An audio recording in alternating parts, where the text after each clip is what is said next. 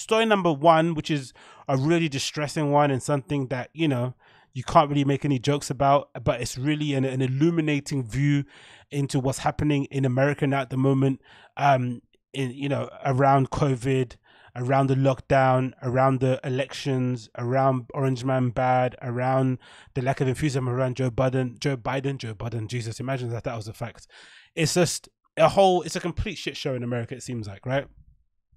Um, it's completely burned into the ground, and for the most part, if you're just watching the Democratic and Republic, and uh, Democratic and um, yeah, Republic, right? Is that called Republic? What do you call them? Republic, whatever they're called, um, conventions, the RNC and the DNC conventions, you be somehow led to believe that everything's okay, right? That's the weird thing. It depends again what you look at. If you follow certain accounts, if you're following Andy, Andy No, Andy Ngo on Twitter, the, that guy that got um, milkshake back in the day and beaten up by Antifa. If you're following his account, America's burning, right? If you're following somebody else on there, I don't know, um let's i don't know throw someone out there right? Or if you're following uh who's the guy that loves trump? Or just trump in general. Everything is fine. Um you know the economy is going to come roaring back. Uh employment is not low. You're sending out free checks. Just a complete mind fuck of a situation. You're not really sure what's down and what's up. But what we know for sure what happened over the weekend was quite distressing where this guy or this kid sorry a teenager called kyle rittenhouse decided to um, leave his home, travel 15 miles or 15 minutes um, to another town in order to kind of stand up for the local businesses, supposedly in Wisconsin. And then something else transpired. He somehow got involved in altercation with Antifa, with some Black Lives Matter protesters. We don't know. He got involved in some kind of altercation, which then resulted in him shooting three people and then killing two. Right. I think the other one is still in, in a serious uh, condition in hospital.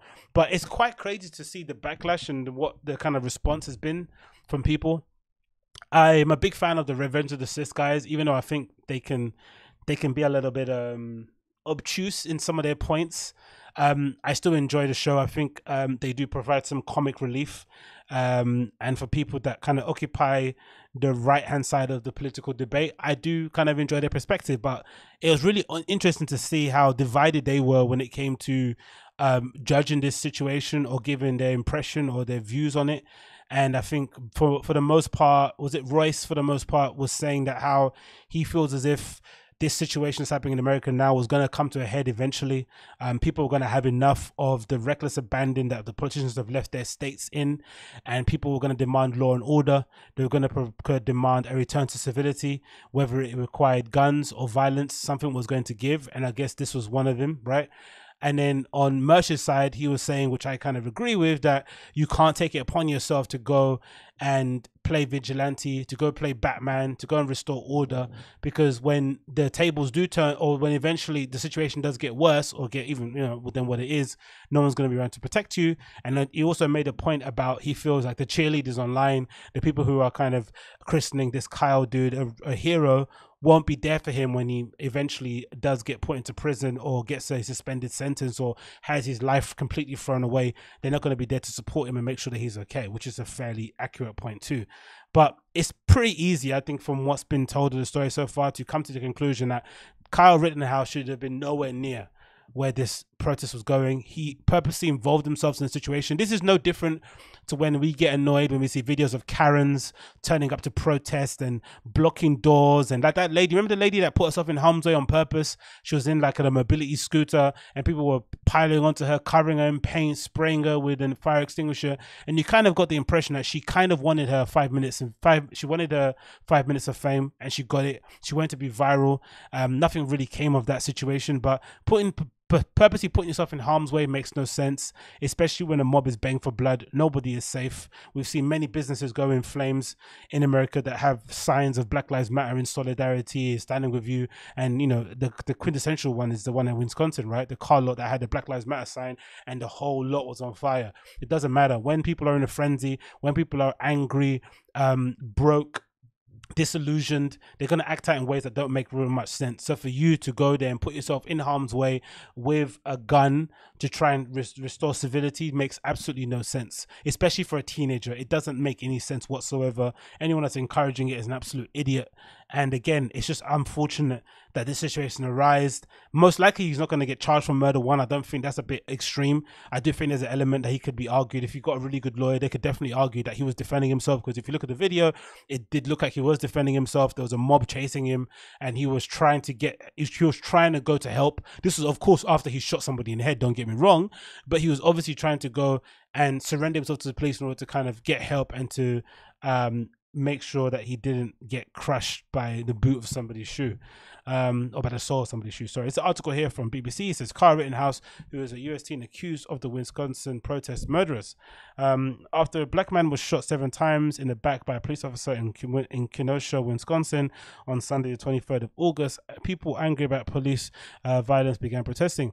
One of the on the third night of demonstration, a 17-year-old boy allegedly fired a protesters with a military-style semi-automatic rifle, killing two and stationing in the third. The the gun thing I don't really that's the issue too. This semi-automatic rifle thing.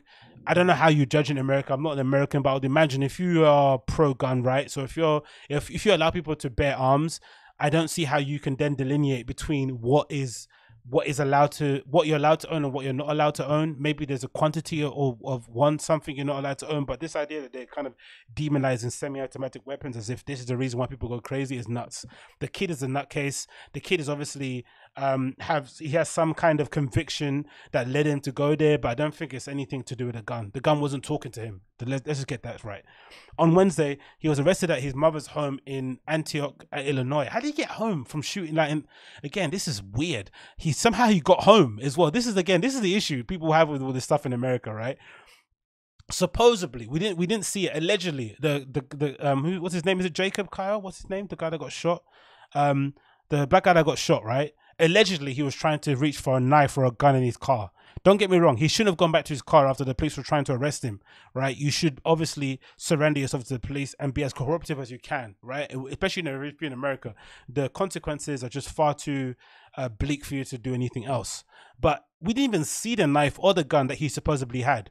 This guy, we're seeing him kind of running down the street with a semi-automatic semi-automatic weapon. Sorry, it's not some handgun. You can't hide it under, you know, in your sock. You can't hide it in your belt loop. It's pretty obvious you've got a gun in your hand, and somehow you got home, and then you got arrested.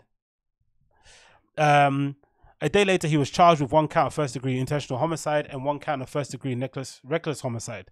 Videos indicate he was spent hours in Tuesday apparently helping patrol the streets. He told journalists that he was his job to guard the buildings and even offer medical assistance to protesters. Again, this is no different to Karens, man. This is like a gun Karen. This is no different. When you see those people that stand outside their door and they ask a usually a minority person, "Hey, do you live here? I've never seen you around. Tell me who your house you're going up to. What's your door number?" All this stupid policing of your neighbors, right? This kind of tittle tattle, snitchy, looking out of your window blinds, calling people, making like th- th- this is basically what's led to this. And now you've got this kid who went to the extreme, of course. Uh, videos indicate he spent hours of Tuesday, da, da, apparently help patrol. Um, here's what we know so far. Details are still emerging about Carl Rittenhouse, but his social media profiles show fascinating pro, uh, fascination with police dating back several years. No problem with that whatsoever. I think again, this demonization of the police is really strange uh, because you know if somebody, God forbid, in your family was to get raped, who would you call? The police. So this idea that we don't need police and we could do away with them is ridiculous to say the least. But obviously there is an issue, especially in America, with some kind of um, institutional racism. There has to be. There's no way that this kid could go home and the other guy couldn't even get something out of his car. It doesn't make any sense. Um, of course, both are in the wrong, but come on. A Facebook photo of him was framed with, bl- with the Blue Lives Matter logo, a staunchly pro police movement that often clashes with Black Lives Matter supporters. Again, whatever, he's 17, right? Um, you're gonna, I don't know, when you're 17, I, I guess I wouldn't have done it, but I understand if you're a teenager and you want to cause a reaction, you're gonna wear a MAGA hat, you're gonna be into Blue Lives Matter, All Lives Matter. You're gonna, you know, you're gonna be a bit of a, you're gonna be a bit of a cunt online. I can imagine that be the case. So you can't read in too much of that again. Several of his posts honor police officers killed on duty, and he also posted pictures of himself wearing full police uniform. He is a former member of the local council, local police cadet program, Grayslake Police Department. Jesus, this kid really wanted to be a police officer, isn't it? Um, guns are another of his passion. Photos show him posing with weapons. No problem with that. One that uh, charges brought against him is possession of a dangerous weapon by a person under eight. Okay, cool. That's I guess that's the issue because he's under eighteen. But I'm pretty sure in rural parts of America, kids kids know how to use guns, they know how to drive. Like, let's not kid ourselves, right? In an interview on Tuesday night before the shootings, he echoes the police language when telling a journalist why he's armed. He says, "Part of my job is also to protect people. If someone's hurt, I'm running into harm's way." Yeah, all right, mate. Um, he's captured on video at different times during that night. At one point, he speaks to police who offer him water. Later on, he is shown being pursued pursued by a group of people. One of whom appears to fire into the air. The teenager turns to see where the sound is coming from as another person tries to attack him. At one point, a teenager appears to shoot the man, later identified as Joseph uh, Rosenbaum. I think that was the white guy that was dropping the N bombs, isn't it? That was a weird one because of co- now looking at the story, he obviously heard a gunshot. Then he turned around and got kind of startled and assumed the guy that fired it was the dude with the bandana across his face, which it wasn't. So I guess that was the issue the fact that he was getting attacked by somebody with a shopping bag or something. I don't know what he had in his hand. And he decided to shoot them. That's insane, right? Again, I'm not too sure if that's allowed in America. I'm not sure how if that's how self-defense laws work.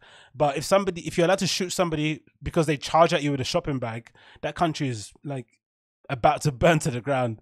Uh, fleeing momentarily, he finds himself chased by a crowd before falling to the ground and firing his gun. One of those hit by the gunfire falls to the ground, fatally injured. He is later named as Anthony Huber. That's the guy with the skateboard, didn't it? I tried it. again. Don't try. It's like what? Don't bring a knife, a spoon to a knife to a gunfight. Why are you hitting some guy with a skateboard that's got a gun in his hand? Insane, insane.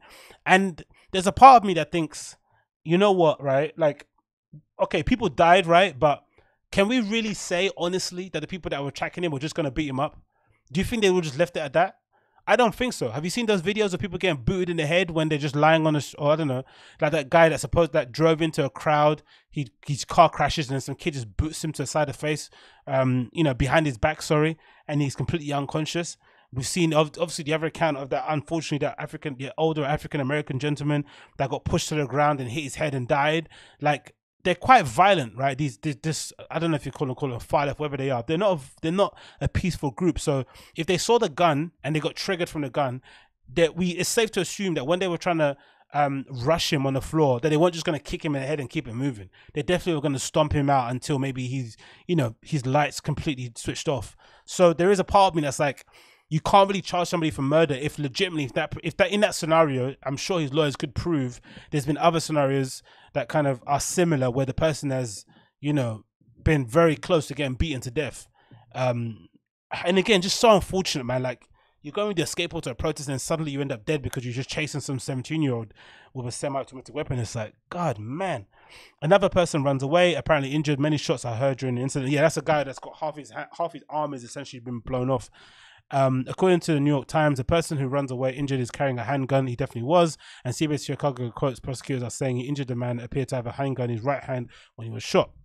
After the second shooting, Kyle Rittenhouse heads towards police vans with his arms in air. A bystander shouts, That dude just shot them, but the police vehicles pass by to attend the injured protesters. Who were the victims? Rosenberg, 36, was from Ken- Kenosha, and Mr. Hubbard, 26, was from Silver Lake. Again, RIP to those guys. Thoughts and feelings go out to their family and friends such needless death, man. Needless. It's just horrendous, isn't it? Regard, regardless of what the situation is, like God Almighty, especially in the midst of everything that's going on, everyone's got enough troubles. Everyone's going through enough as it is already to be dealing with a loss of a family member or a loved one due to a protest. It's just, oh yeah, yeah. They were on Kenosha streets on a tense night that saw protesters clash with police and armed vigilantes. Demonstrators are angry about the police shooting uh, of a black man, a black American, weeks after the U.S. was engulfed in a huge movement calling for an end to racism and police brutality. Jacob Blake, 29, was shot seven times in the back by officers. His lawyer says it'll be a miracle if he walks again. Jesus Christ. Limited law enforcement in Kenosha has led to individuals and groups taking law into their own hands during the arrest.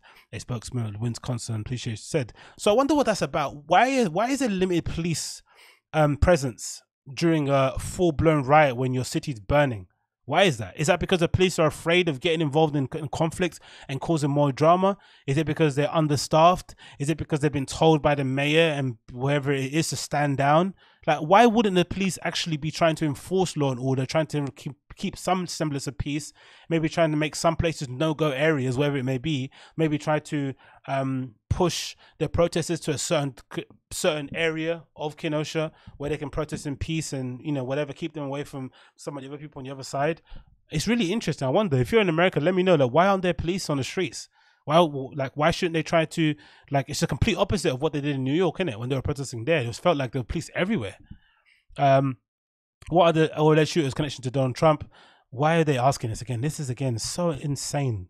The suspect's social media account suggests the support of President Donald Trump. Videos show him cheering in front of a row of IRA rally for the president's re-election. But who cares? It doesn't matter really, innit? This is just a heinous situation all in.